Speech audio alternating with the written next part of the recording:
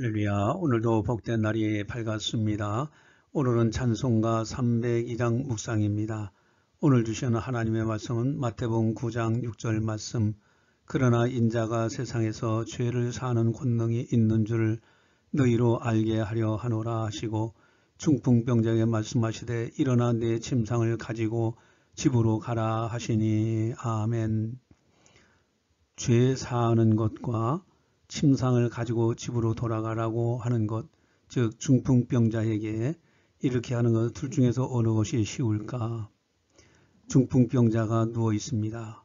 침상을 가지고 집으로 돌아가라 하는 것은 기적이 일어나지 않는 한은 힘들 것입니다. 바로 즉석에서 나타납니다. 그러나 죄를 용서하노라 하는 것은 눈에 보이지 않는 것이기에 어떻게 판단할 길이 없습니다. 바로 침상을 가지고 집으로 가라는 것이 더 어려운 것입니다.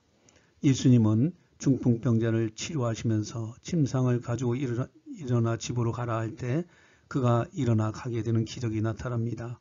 그러면서 세상의 죄를 사는 권능이 내게 있다라고 하는 것을 증명해 보인 사건입니다.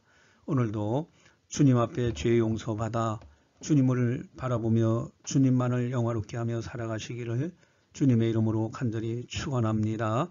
기도하시겠습니다. 사랑의 하나님 아버지 감사합니다. 우리의 죄를 용서해 주시고 우리를 붙들어 주시는 좋으신 주님을 찬양합니다.